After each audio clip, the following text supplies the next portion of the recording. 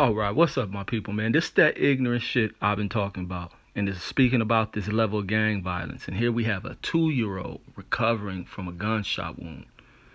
Recovering from a gunshot wound. Two years old.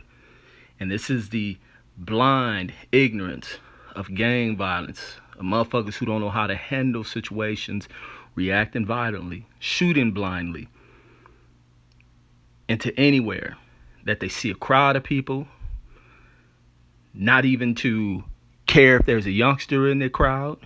And it shouldn't even care. There's human beings in the crowd. And they're not addressing issues they have with people. And sometimes they ain't even an issue anyone had with someone. This is ignorant shit about what side a person is on.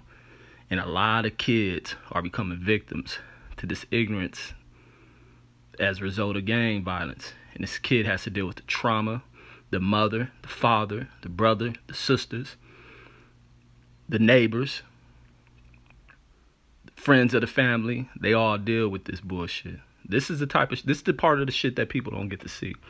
And this baby is lucky to be alive. Thank God.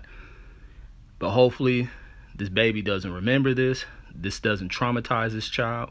And that's a hard thing to say that this child isn't traumatized from this. That someone cowardice is hell shooting blindly will wound a youngster like this. Hopefully they didn't target this baby. But this is the coward shit that men do, especially those with guns. But uh that's all I got. Catch you on the next one. This is why I talk that shit about this violent shit going on in this country. Because this is the part of it we don't see. We just make the assumptions that it's all adults, and even that ain't cool. But when it's children, that's a no no. And as it's always been, women and children and elders are a no no. But people don't live by those rules. Catch you on the next one. Peace.